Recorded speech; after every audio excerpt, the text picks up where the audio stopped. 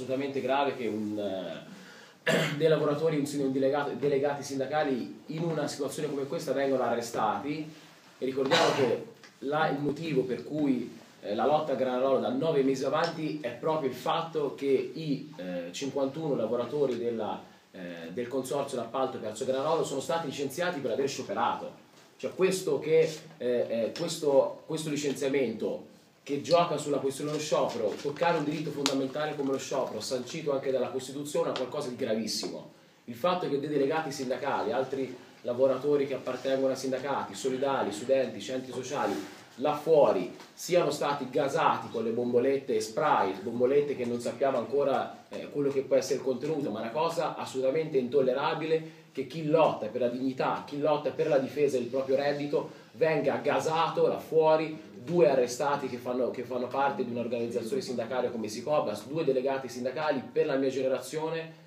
vedere quelle scene lì di, di gas in faccia, sparato a chi a terra, chi sta solamente facendo in quel caso resistenza passiva, rimanda a quelle immagini eh, assolutamente intollerabili Genova G8, gente gasata a terra eh, assolutamente eh, inerme, 7-8 poliziotti addosso a un, un, delegato sindacale trascinato e buttato come un animale eh, nel fosso. Queste sono robe gravissime che succedono a Bologna, che si venga licenziati per uno sciopero, che non si possa eh, costruire dei momenti di solidarietà e di lotta per la, per la, difesa della dignità e per la difesa del reddito di chi da nove mesi è là fuori e si arrivi agli arresti di delegati sindacali o altro. Qua la cosa eh, è che si vuole mettere in discussione la possibilità di organizzarsi sul posto di lavoro e la possibilità di potersi organizzare politicamente con tutti quelli che danno solidarietà e costruiscono solidarietà eh, con i licenziati all'agronolo, ma anche con tutti gli altri eh, eh, lavoratori della logistica bolognese e non solo. Questo è un qualcosa di molto grave, come laboratorio Crash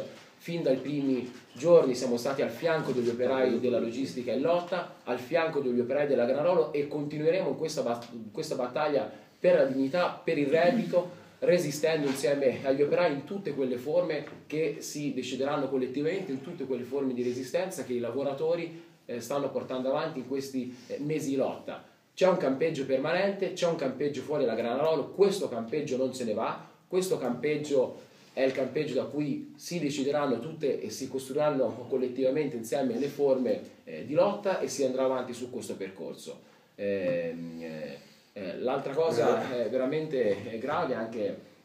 il fatto che il, il, eh, ci siano stati veri e propri pestaggi da parte, dei, eh, da, da parte sia delle forze dell'ordine con calci e pugni in faccia, i video che ha fatto vedere anche Marina parlano chiaro, qua ci sono anche insomma, i lavoratori che sono qua, il fatto che ci siano altri lavoratori della, che fanno parte della CTL siano andati a picchiare dei, uh, dei facchini che stanno presidiando un cancello. Noi saremo al fianco di questi lavoratori, saremo al fianco di questa lotta di resistenza per la dignità e per il reddito. Noi